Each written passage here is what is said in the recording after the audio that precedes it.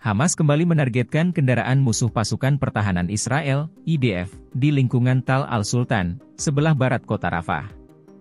Detik-detik penyergapan itu diunggah di Telegram pada Kamis 20 Juni. Dalam video itu dinarasikan Hamas berhasil menghancurkan poros IDF di Al-Taqaddum. Tank-tank IDF meledak satu persatu hingga Zionis lumpuh.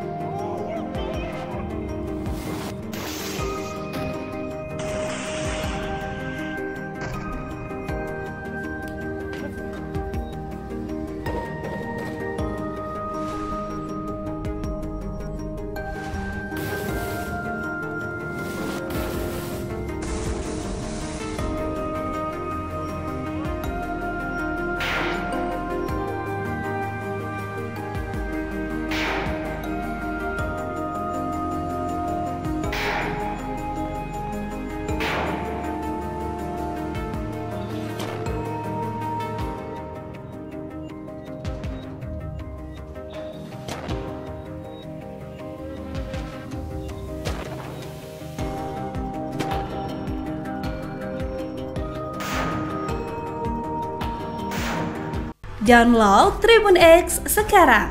Menghadirkan lokal menjadi Indonesia.